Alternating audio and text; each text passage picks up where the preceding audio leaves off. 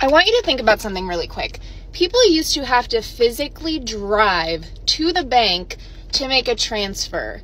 People used to have to print out documents, drive them over to a client's house, have them sign them. If they needed an initial, they had to go there to get an initial.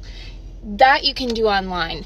People used to have to be paid to review your resume. That's a job. And now you can go online on ChatGPT, whatever, and have that reviewed and have such an edge so quickly if you utilize these tools to your advantage. I can get anything basically that I need to get done for work from my car looking at the ocean. I don't need to go wait in line at a bank for two hours to do a transfer, to do something for my business.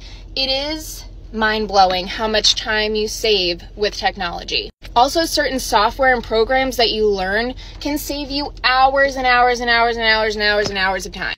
I found that the best way is to ask other people what programs they use and why so that you can gain a fresh perspective on how you can utilize tools like AI and apps and things like that to just throw your business into overdrive or even just make the work that you're doing in your job a little bit easier. Dude, even voice to text, when I'm doing that in my car, I feel like a star. Like I'm like, excuse me, um, blah, blah, blah, blah, blah, please send. Like, that's like having your own personal assistant in your car. Voice to text, safe while you're driving, please. Okay, I love you guys. Bye.